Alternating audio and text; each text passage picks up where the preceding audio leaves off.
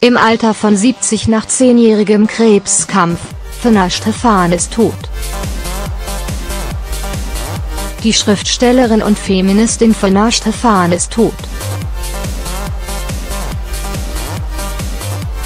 Die Schweizer Autorin, die im Jahr 1975 mit Häutungen ein Kultbuch der neuen Frauenbewegung geschrieben hat, starb am Mittwoch in ihrer Wahlheimat Montreal.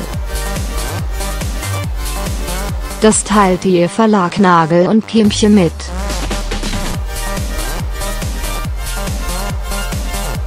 Stefan wurde 70 Jahre alt.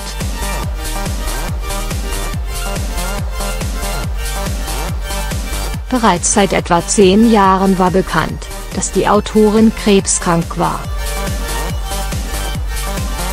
Den Umgang mit der Krankheit verarbeitete Fana Stefan in ihrem Roman Fremdschläfer, der von einer Frau handelt, die nach ihrer Übersiedlung nach Kanada einen Tumor entdeckt, einen Fremdschläfer.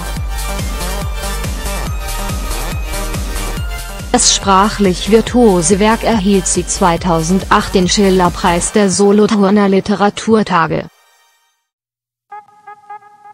Ihr letztes Werk zuletzt erschien 2014 im Verlag Nagel und Kimche Stephans Roman Die Befragung der Zeit, in dem sie die Geschichte ihrer Familie und somit ihre eigene aufrollte. Stephans Großvater Julius Brunner war ein Landarzt der in den 1940er Jahren Frauen illegal zu Abtreibungen verhalf und dadurch in die Mühlen der Berner Justiz geriet.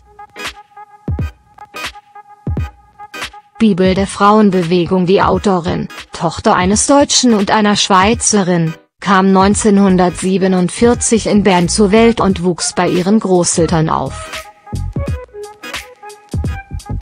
Nach dem Schulabschluss zog sie nach Berlin, wo sie zu den Gründerinnen der feministischen Gruppe Brot und Rosen gehörte.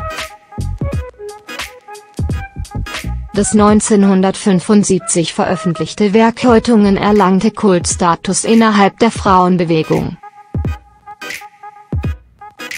Der Roman mit autobiografischen Zügen wird oft auch als Bibel der Frauenbewegung bezeichnet und ist der erste deutschsprachige literarische Text einer Feministin der 70er Jahre. Die Autorin analysiert darin heterosexuelle Herrschaftsverhältnisse und beschreibt die Entdeckung der eigenen Sexualität. Für Häutungen, der in acht Sprachen übersetzt worden war, wurde Stefan mehrfach ausgezeichnet. Nach 30 Jahren in Deutschland wanderte Stefan um das Jahr 2000 herum nach Montreal aus.